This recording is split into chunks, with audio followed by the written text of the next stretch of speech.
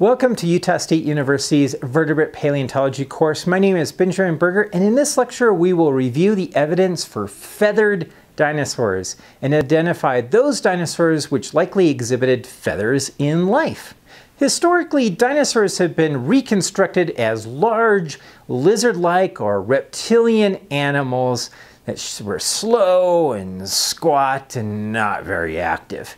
But over the last 50 years, science has shown that dinosaurs looked very different from these earlier Hollywood versions of scaly lizards. Many dinosaurs, in fact, were feathered.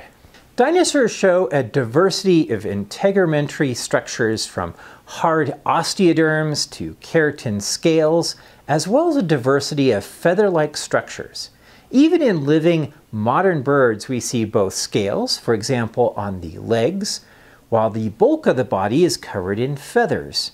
In birds, feathers are useful for both flight and insulation. Some of the most primitive lineages of dinosaurs have integumentary structures that appear to be similar to feathers.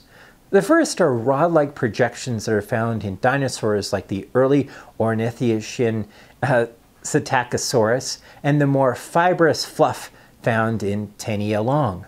These integumentary fibers lack barbs or hooklets, unlike modern uh, bird feathers, and these early structures appear to be downy or fluffy, limited to insulation, or perhaps some were porcupine quill-like for protection.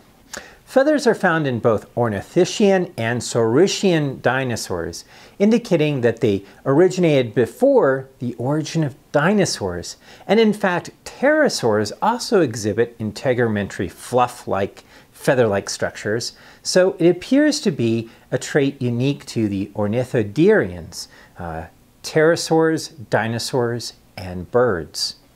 In Saurischian dinosaurs, integumentary structures are found in theropods, where they first appear in some of the smaller members of the group. Feathers became more feather-like and appear to become flashy, likely due to the use in sexual display, particularly with groups like the Oviraptoridae, which had long feathers extending off the tails and the arms. More pennaceous feathers are also found exclusively with the advanced theropod dinosaurs.